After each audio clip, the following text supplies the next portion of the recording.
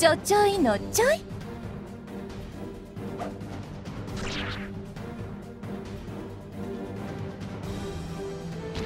なあにもこのぐらいで大げさね。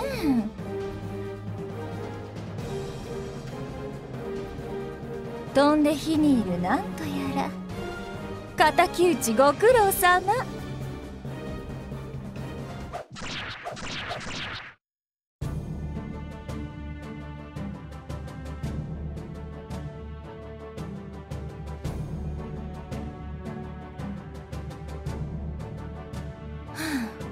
ぬるすぎね。もう少し強い子が来ても平気なのに。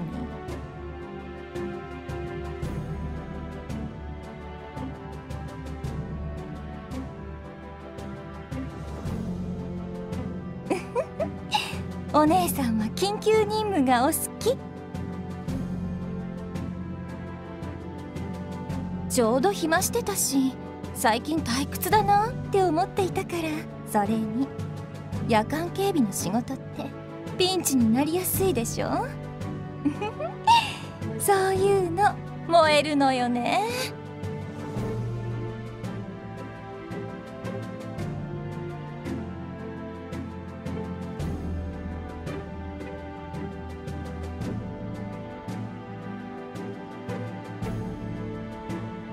危険な任務がしたいっていうわけじゃないのよ。私はただ困っている人の代わりになれればいいなっ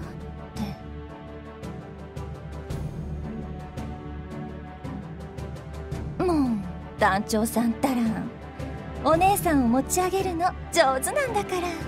こうして目的地まで一緒についてきてくれるしお姉さんそれだけでも頑張れちゃうわ。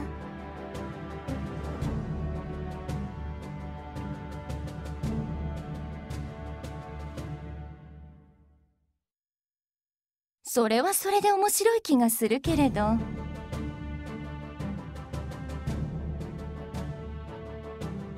夜間にこうして団長さんとお散歩できるなんて。今日はとってもついてるわ。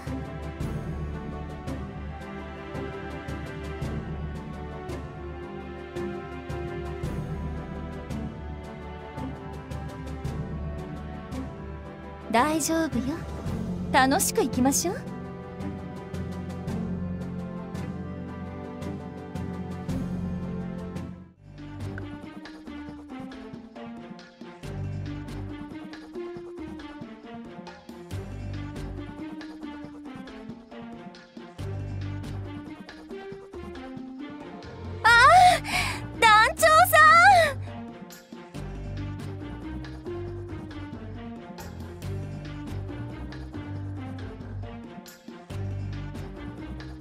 団長さん助けて。たタコがイカが？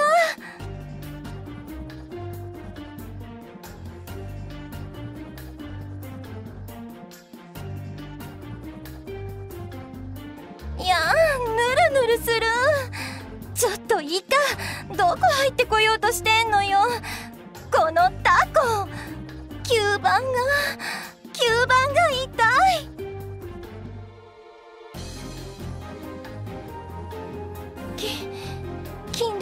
箱を開けたら海の魔物が出てきたの、うん、私どうしても我慢できなくって。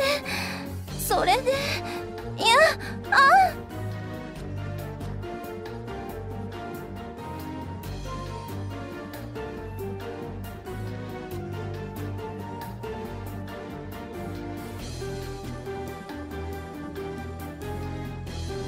知っていて助けないの？あなた結構強気なところあるのね。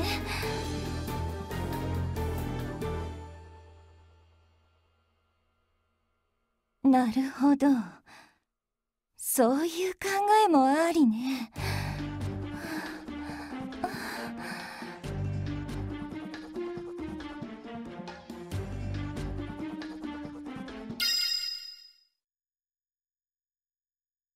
ワクワクしちゃう。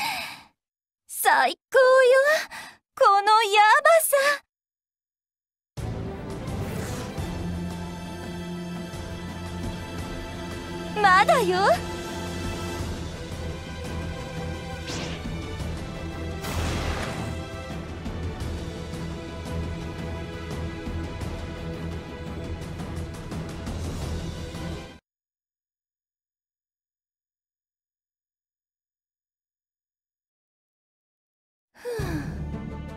なんとか片付いたわ。いいストレス解消になったわ。ありがとう団長さん。本物の害虫相手にヘマはしないから安心して。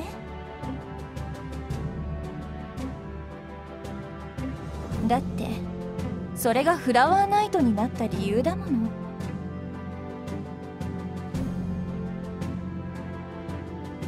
そろそろ出発の時間よ。先を急ぎましょう。ここから先は西の荒野との境界線。ワクワクするわ。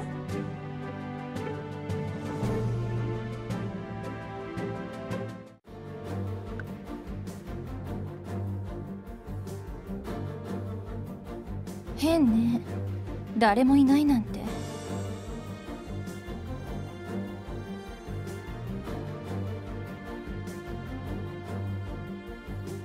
少なくともここにはいないわ。断言してもいい。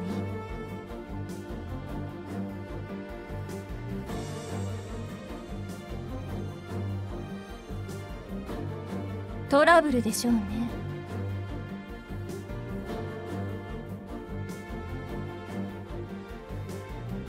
当然よ。トラブルに巻き込まれたのは私ではないも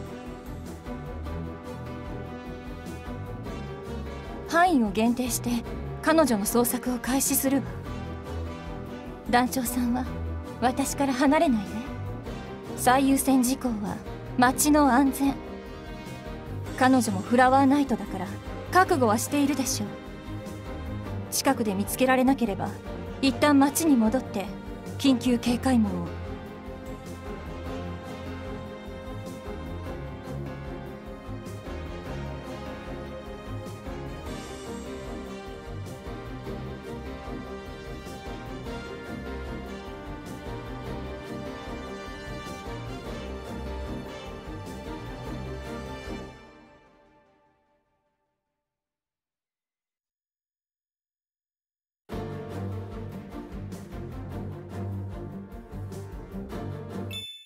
いたわあそこ怪我して動けないみたい。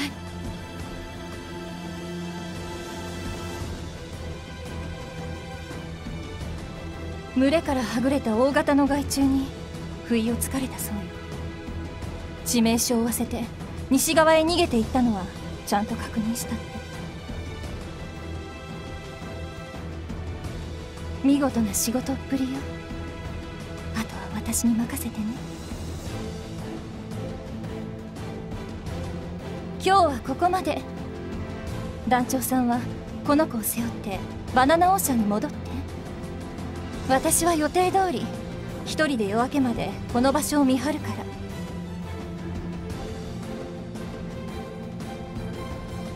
ら。集められたとしてせいぜい数人でしょ？それなら朝を待ってしっかり編成した方が意味があると思うわ。ねえ団長さん。さっきの話の続きだけど。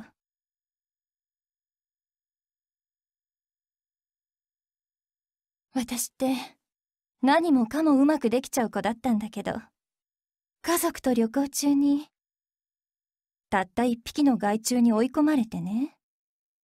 ああこれは参ったって思ったのよ。両親を抱えて全力で逃げ回って。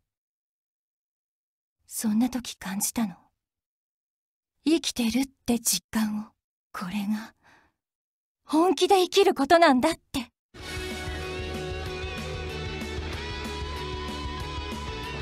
ちょうどその頃フラワーナイトに囲まれている団長さんを見かけてね。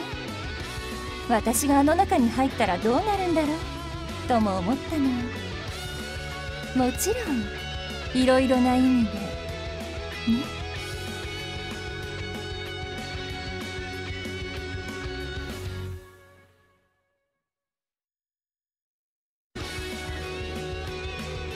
ワクワクするわ。